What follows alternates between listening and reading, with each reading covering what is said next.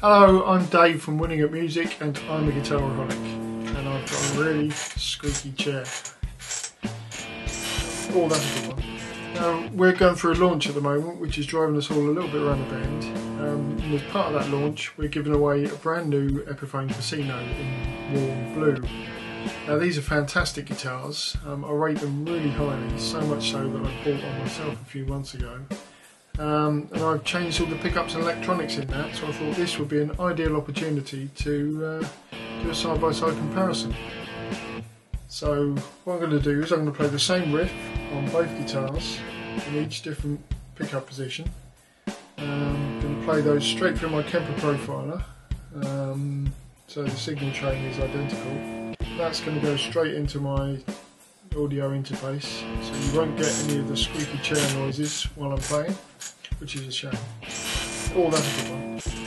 So the Sunburst one I've um, changed the pickups to Seymour Duncan Antiquity P90s which are fantastic pickups and also I've changed the switch to a Switchcraft, I've changed the pots to CTS pots and there's now an orange drop capacitor in there.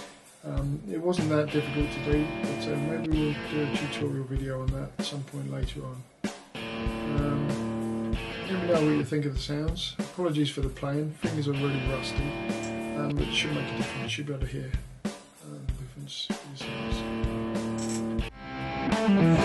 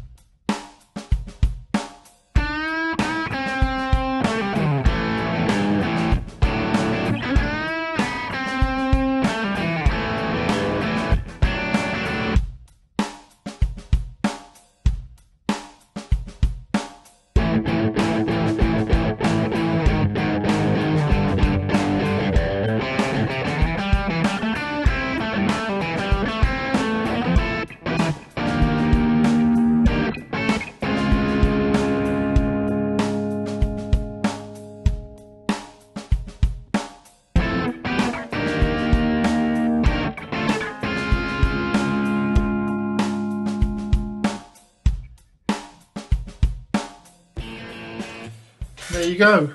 Um, so Dan couldn't really hear much of a difference, or certainly not enough to um, warrant spending the extra money on. I think the difference is huge.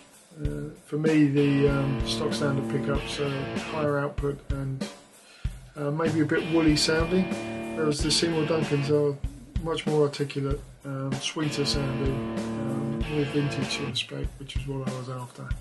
Um, and I'm very pleased with the um, adaptations I've made. So let us know what you think. As I mentioned before, the blue one is actually up for grabs as a free entry competition on our website, which is winningatmusic.com. Please enter there and check out our other competitions.